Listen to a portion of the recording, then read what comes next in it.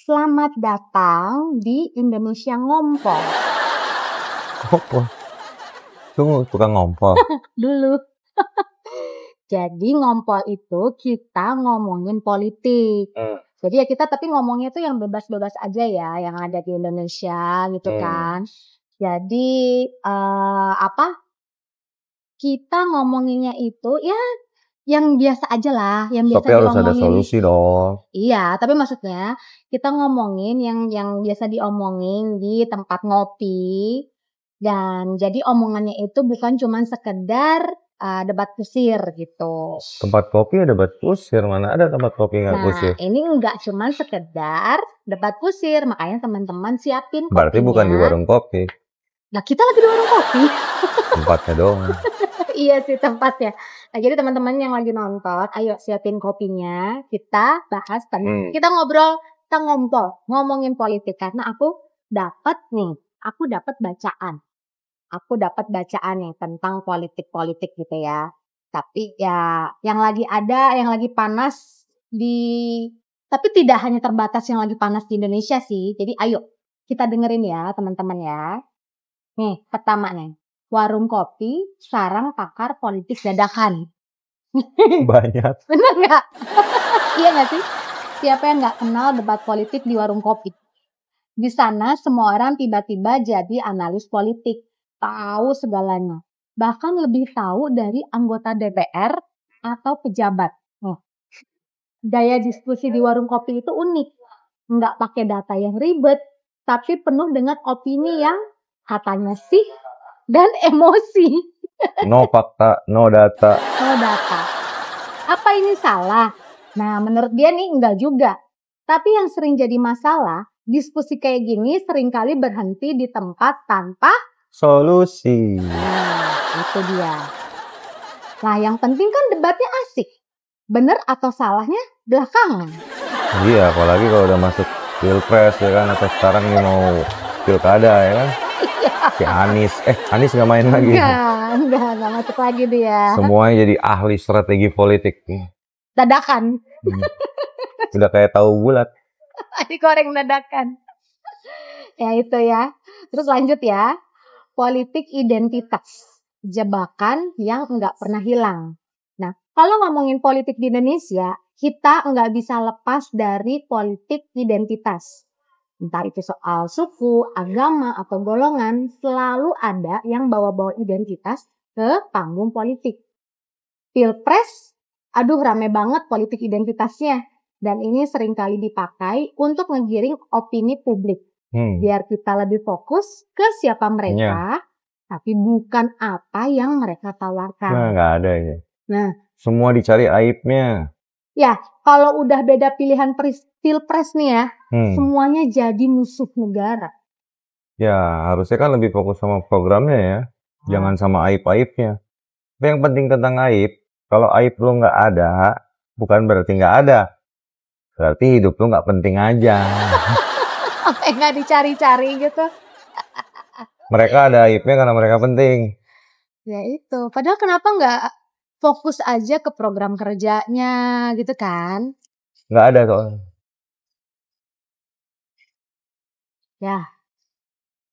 Gimana itu teman-teman? Ayo yang ada komen-komen atau pandangan berbeda tulis di kolom komentar ya. Lanjut kita? Hmm. Lanjut. Politik uang. Selalu ada di setiap pesta demokrasi. Iya nggak sih? Iya nggak? Iya nggak? Ya gitu. Iya nggak? Kita nggak pernah terima. Dengar-dengar sih. Ya. Ya mending yang terima daripada yang nggak terima tapi bacotnya banyak. Nah iya bener. Mendingan yang bayar-bayar. Sekalian. Ini dia yang nggak bisa lepas dari politik kita. Money politik. Tiap kali pemilu atau pilkada, pasti ada aja isu serangan fajar. Atau uang amplop yang tiba-tiba nongol sebelum hari pemilihan. Masyarakat jadi pragmatis dan ini sering kali bikin politik kita jadi transaksi transaksional. Bukannya milih berdasarkan visi misi, tapi berdasarkan seberapa tebal amplop yang diterima. Betul. Kalau amplopnya tebal, ya dapat suara. Sesederhana itu. Ya serangan fajar itu kan udah tradisi. Orang kita kan munafik gitu. Jadi sebenarnya ya semua orang tuh tahu itu salah, tapi kenapa tetap terjadi? Berarti munafik kan? Cuman ngomong-ngomong aja itu politik uang, politik uang ya. Itu kalau lu kalah, kalau lu menang lu diam-diam aja kan? Iya, bener. Orang yang nerima juga gitu. Ya. Mungkin yang ngomong juga yang nggak nerima, tapi kalau diterima mau-mau aja tuh. Nah itu. Iya kan? Nah, nah kita lanjut lagi ya. Mem dan politik generasi Z dalam perang opini. Kalau generasi sebelumnya sibuk diskusi di warung kopi, generasi sekarang sibuk berpolitik lewat mem di media sosial. Nggak bisa dipungkiri, mem politik udah jadi alat penting untuk menggilir opini di kalangan anak muda. Singkat, lucu, dan kena di hati. Mem sering lebih uh, efektif daripada kampanye panjang yang kaku. Hmm. Tapi masalahnya, kadang mem juga bisa menjadi misleading dan memperburuk polarisasi politik. Kayak cebong sama kampret gitu kan. Iya. Jadi terpolarisasi gitu. Seakan-akan pilihan itu hanya itu. Kalau lu nggak ini ya ini. Nah itu. Gitu. Terus udah gitu ada juga yang, yang bilang nih, uh suka banget nih dengan meme yang ini. Kena banget di hati. Hmm. Itu banyak kejadian seperti itu kan.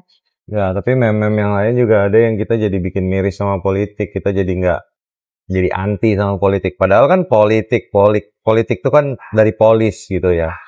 Polis itu negara, ya mengatur negara gitu ya. Kalau kita juga generasi muda itu anti, ya membiarkan mereka-mereka aja yang ngatur, ya, akhirnya akan begini-begini terus. Iya. Jadi jangan harusnya jangan cuma nanya kritik ya. Iya benar. Nah kita lanjut ya. Jokowi, Prabowo, dan drama politik kita. Nah, Nah nih, kita nggak bisa ngomongin politik Indonesia tanpa bahas duo legendaris yaitu Jokowi dan Prabowo. Wiwi dan Wowo. Wiwi dan Wowo dari lawan jadi Dari kawan. kawan. Dari dari kawan jadilah jadi kawan. Itulah dia drama politik yang nggak ada habisnya. Hmm. Apa sih sebenarnya yang bikin mereka akhirnya bisa duduk bareng setelah sebelumnya berseteru? Berpura-pura berseteru. Berpura-pura. Dulu lawan, sekarang jadi tim. Dulu kawan. Dulu kawan, sekarang jadi lawan. Ini kayak plot Jadi twist. kawan, jadi tim. Dal- iya ini jadi kayak plot twist di dramanya film-film Korea.